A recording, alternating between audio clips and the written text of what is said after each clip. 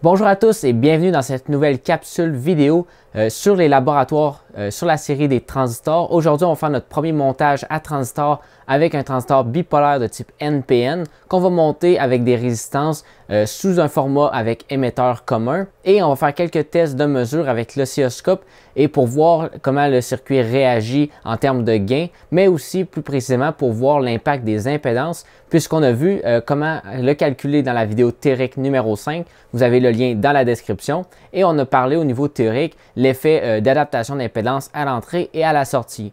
Aujourd'hui, on va voir ces effets-là au niveau pratique. Donc, on va voir avec le oscilloscope à quel point le signal s'atténue ou euh, il va avoir un gain sur le signal, euh, tout dépendant de l'impédance qui va avoir été vue à l'entrée et à la sortie et l'impédance qu'on va y ajouter à l'entrée et à la sortie.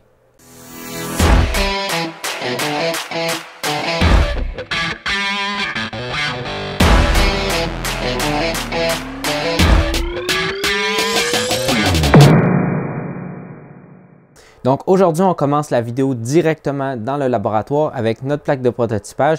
On a déjà notre montage à transistor avec les certaines résistances qu'on va avoir autour du transistor pour le mettre dans le bon mode de polarisation. On va avoir les résistances aussi qui vont servir à euh, faire différents tests pour l'adaptation à l'entrée et l'adaptation à la sortie. Donc on va voir euh, les effets en fait euh, d'une mauvaise adaptation que ce soit à l'entrée ou à la sortie sur le signal qu'on va vouloir amplifier à l'aide de notre montage à transistor. Euh, un peu plus tard dans la vidéo, on va analyser un peu plus en détail euh, certaines valeurs de résistance, pourquoi elles ont été choisies. On va aussi voir que les condensateurs qui ont été placés ici, c'est pour enlever la composante DC. On en a déjà parlé dans la vidéo, mais c'est euh, pour enlever la composante DC, soit la, composante de polarisation de notre transistor. Et à la sortie et à l'entrée aussi, c'est tout simplement pour amplifier le signal AC uniquement et pour séparer la composante DC de la composante AC. Donc, avant de commencer à vous présenter les formes d'ondes qui sont générées par mon circuit, soit les formes d'ondes à l'entrée ou à la sortie, on va euh, parler du montage lui-même. Donc, ici à l'entrée, c'est mon générateur de fonctions, l'entrée positive, l'entrée négative. Mon générateur de fonctions offre une impédance de 50 ohms. On va en parler un petit peu plus tard. quel impact que ça va avoir pour mon circuit? Ici, c'est ma source d'alimentation pour alimenter mon circuit. Donc l'alimentation, c'est euh, plus 20 volts. Donc 20 volts et la masse. Donc la noire, c'est la masse.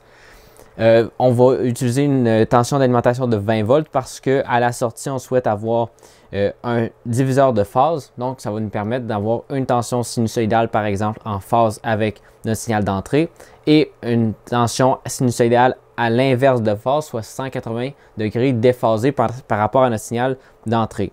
Et on souhaite que notre signal à la sortie ait une amplitude de 10 volts, que ce soit celui qui est en phase ou en déphasage. Donc, nécessairement, le point milieu va être à, 10 volts. Donc, donc, la première forme d'onde va osciller de 10 volts à 20 volts et l'autre forme d'onde va osciller de, euh, de 0 à 10 volts. On va revenir un petit peu plus en détail sur ces deux formes d'onde-là et les tensions associées. Ici, on va avoir le diviseur de tension pour la polarisation de notre transistor. Donc, les trois résistances qui sont ici, en fait, c'est tout simplement, elles peuvent être représentées par deux résistances. J'ai mis deux résistances en série ici puisque je n'avais pas la valeur précise que je voulais euh, utiliser dans mon montage. Donc, j'en ai placé deux en série. Mais euh, ici, ça fait un diviseur de tension sur ma tension d'alimentation plus 20 volts.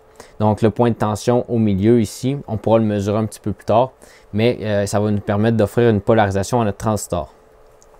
Ensuite, la résistance au bas ici et la résistance au haut ici sont les résistances d'émetteur et du collecteur de notre montage à transistor. Donc, vous avez le schéma présentement affiché à l'écran. Vous voyez les différentes valeurs de résistance que j'ai utilisées pour mon schéma de base avec euh, le transistor que j'ai utilisé. Donc, c'est un 2N3904. C'est un transistor NPN. Donc, c'est très, très utilisé pour les montages à, amplificateurs euh, bipolaires. Donc, euh, un transistor très, très utilisé. On va avoir ma sonde de ici qui va se promener de différents points dans le circuit. J'ai relié la masse, bien entendu, ici sur la masse euh, de mon alimentation pour assurer d'avoir un point commun qui est euh, stable et bien connu. Donc, un dernier petit détail au niveau du montage. Donc, le transistor va offrir une disposition des broches euh, ici en partant de E, au centre c'est B et en haut c'est C, donc EBC pour émetteur, base et collecteur. Donc ça ici c'est la résistance de l'émetteur. Ici on a le câble qui fait euh, en blanc, c'est le câble qui s'en va ici au point de polarisation à la base. Et ici en haut c'est euh, la résistance qui s'en va sur l'alimentation positive puisque c'est la résistance au collecteur.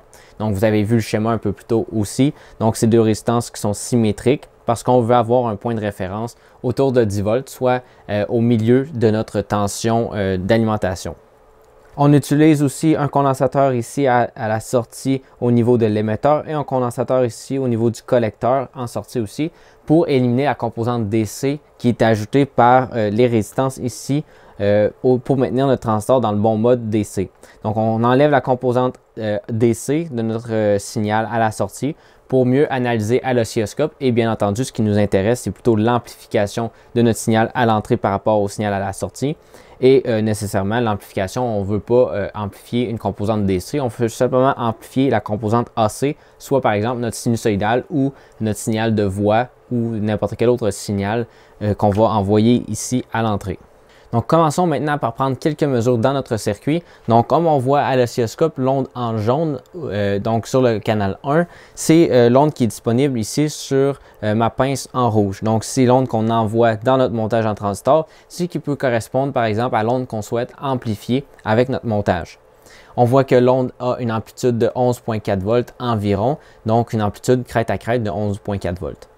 Euh, nécessairement, ma source, mon générateur, de euh, mon générateur de fonction a une impédance de sortie de 50 ohms. Euh, présentement, je, fournis mon impédance qui est plus élevée. On, on pourrait calculer par exemple l'impédance d'entrée de mon montage, mais on verrait qu'elle est très élevée puisque j'utilise un diviseur de tension qui a des valeurs très élevées aussi. Donc, nécessairement, si on souhaite euh, calculer le ratio euh, avec un diviseur de tension avec notre impédance d'entrée de 50 ohms par rapport à notre impédance d'entrée de notre montage, on se rend compte que l'impédance euh, de la source ne crée pas d'impact sur la tension. On n'aura pas d'atténuation avec la tension qui aurait été réduite par le premier diviseur de tension. Donc, nécessairement, la tension qu'on applique, c'est la tension qui aura été appliquée à la base pour être amplifiée. Au niveau de la sortie, on n'a aucune charge non plus, donc on n'a pas d'impédance qui, euh, change en fait euh, le gain en tension comme on a vu dans la capsule théorique.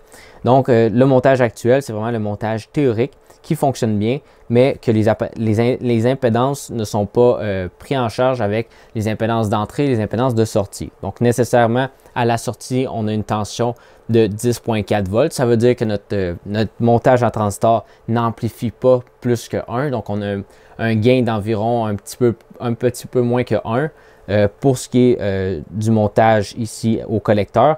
Et au, montage ici à l'émetteur, donc l'émetteur suiveur, on a un gain aussi d'environ en bas de, de 1, ce qui nous donne encore une amplitude de 10. Donc, nécessairement, les deux amplitudes, que ce soit mesurées ici en haut, mesurées ici en bas, on va avoir euh, les, mêmes, les mêmes amplitudes euh, puisque c'est un montage qui est symétrique et c'est fait pour euh, nous donner un déphasage de 180, que ce soit connecté au collecteur et à l'émetteur.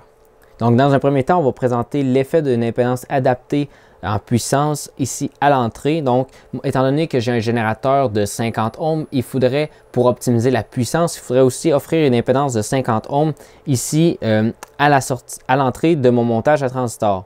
Étant donné que l'impédance à l'entrée de mon montage à transistor uniquement est très très élevée, si je connecte une impédance de, 40, euh, de 50 ohms ici en parallèle, l'impédance résultante sera environ 50 ohms. Donc ce ne sera pas précisément 50 ohms, cependant, euh, comme vous allez voir, euh, on peut approximer pour avoir une impédance de 50 ohms. Ce qui nous fait qu'on a le transfert maximal de puissance, donc pas nécessairement un transfert maximal en tension, mais bien en puissance. Et euh, bien souvent, ça va être euh, très, très utilisé dans l'industrie pour euh, transmettre le maximum d'énergie à notre système. Donc, nécessairement, on perd de la tension, mais on, a un gain en puissance. On peut remarquer directement sur notre oscilloscope que l'amplitude a été atténuée considérablement. Et en fait, plus précisément, l'amplitude a été atténuée par un facteur 2. Comme on peut voir, l'amplitude du signal à l'entrée est maintenant de 5.4 volts et à la sortie, on est maintenant à 5 volts. Donc tout ça fait, bien du sens puisque euh, notre gain à l'entrée maintenant nous offre un diviseur de tension par deux. Donc puisque l'impédance d'entrée de la, du générateur de fonction c'est 50 ohms, on lui fournit une impédance à l'entrée de mon montage de transistor de 50 ohms. Donc déjà on a un gain de une demi par rapport à tout à l'heure. Maintenant, à la sortie, on pourrait aussi appliquer une certaine charge et euh, dans mon cas, à la sortie, je ne connais pas directement c'est quoi mon impédance de sortie, mais je sais que si j'applique une charge quelconque, donc par exemple ici une charge euh, de 1 kΩ, on va avoir encore une atténuation au niveau de mon signal et comme vous voyez, c'est très très très drastique. On voit que le signal est simplement de quelques, euh, quelques millivolts, voire 800 millivolts environ. Donc, comme vous voyez, euh, l'impédance a vraiment très affecté le montage. On n'a pas changé le point de polarisation de notre transistor. On n'a pas changé les résistances d'entrée et sortie à l'émetteur. On a tout simplement changé euh, la charge à laquelle on applique. Donc, dans mon cas, c'est une charge de 1 kΩ. Et on a changé tout simplement l'impédance d'entrée ici, qui était de euh, très très élevée, maintenant qui est rendue une impédance de 50 ohms. Donc, bien entendu, l'impédance de 50 ohms, c'est bien pour le transfert en puissance, mais on a perdu pour un gain en tension. Donc, tous ces concepts-là, on en a discuté dans la vidéo théorique. Euh, n'hésitez pas à revoir la vidéo théorique si vous ne l'avez pas déjà vue. Euh, nécessairement, la capsule aujourd'hui, c'est vraiment pour vous montrer de façon pratique comment euh, mettre une charge à la sortie. Par exemple, ici, on a placé une résistance de 1 kΩ, mais on pourrait alimenter, par exemple, un haut-parleur et le haut-parleur verrait une certaine impédance et pourrait affecter considérablement notre montage à transistor, en fait le gain qu'on va offrir au haut-parleur si celui-ci n'est pas adapté. Donc comme vous voyez, l'impact du choix d'impédance à la sortie et à l'entrée va avoir un gros impact sur le gain en tension qu'on va pouvoir obtenir avec notre montage à transistor. On peut voir que s'il n'est pas euh, optimisé, on va avoir des pertes au niveau euh, de l'amplitude en tension et on peut le remarquer avec le montage qu'on a fait présentement puisque sans euh, notre impédance de 50 ohms à l'entrée et sans la charge de 1 kΩ, on avait une tension crête à crête d'environ 10.5 volts. Lorsqu'on met ces deux éléments-là ici soit la charge de 1 kΩ à la sortie et qu'on met la résistance de 50 ohms, soit pour faire une impédance, un match euh, d'impédance à l'entrée, on obtient une, une, tension crête à crête en sortie ici de seulement 800 millivolts. Donc, on peut bien voir qu'avec les impédances qui ne sont pas adaptées à l'entrée et à la sortie, on a réduit le gain par 2 ici à l'entrée. On a réduit le gain d'environ 5 à la sortie. Donc, combiné, on a atténué notre montage à transistor par un, gain de, 10. Donc, nécessairement, au lieu d'avoir une tension crête à crête en sortie de 10 volts, on a seulement 800 millivolts euh, à la sortie. Donc, on a vraiment perdu euh, au niveau de l'amplification, tout simplement parce que les, les impédances n'étaient pas adaptées.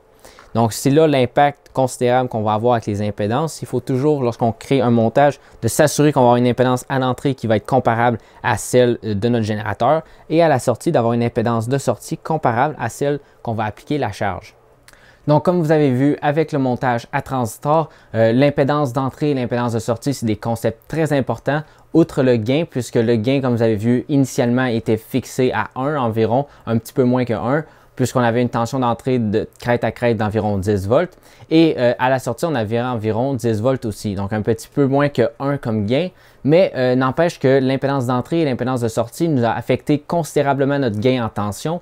Donc, ça va nous permettre, par exemple, d'optimiser le gain en puissance plutôt lorsqu'on va euh, obtenir une impédance d'entrée de 50 ohms et fournir une impédance de sortie égale à notre charge. Mais n'empêche que pour un gain en tension, on a réduit considérablement. Donc, c'est des aspects à prendre en compte lorsqu'on fait de la conception avec des montages à transistors. On va premièrement polariser le transistor dans le bon mode. Donc, on en a déjà parlé dans les capsules antérieures. Et ensuite, on va s'assurer que l'impédance d'entrée et l'impédance de sortie vont être adaptées à l'impédance de notre euh, générateur et adaptées à l'impédance de notre charge. Donc, bien entendu, il va falloir connaître ces impédances-là pour offrir le maximum de puissance à notre système. Donc j'espère que vous avez compris cette notion d'adaptation d'impédance puisqu'on retrouve souvent cette problématique en électronique. Par exemple, euh, si on souhaite fournir euh, un signal audio à un haut-parleur, si l'impédance n'est pas adaptée à la sortie, donc la sortie de notre amplificateur avec l'impédance de notre haut-parleur, nécessairement on n'aura pas un transfert maximal en puissance et euh, comme vous avez vu, ça va affecter le gain au niveau de notre montage à transistor. Merci à tous d'avoir regardé la vidéo d'aujourd'hui. Cliquez sur j'aime si vous avez aimé et n'oubliez pas de vous abonner à la chaîne si ce n'est pas encore fait. N'oubliez pas aussi d'aller regarder la série de vidéos sur les transistors qu'on a déjà commencé. Donc, on est rendu à la vidéo numéro 5 en théorie. En pratique, on est en fait déjà quelques-unes aussi. Donc, n'hésitez pas à retourner voir ces vidéos-là et plusieurs autres vidéos sur la série de transistors sont à venir. Donc, abonnez-vous pour rester à l'affût des prochaines vidéos. Merci.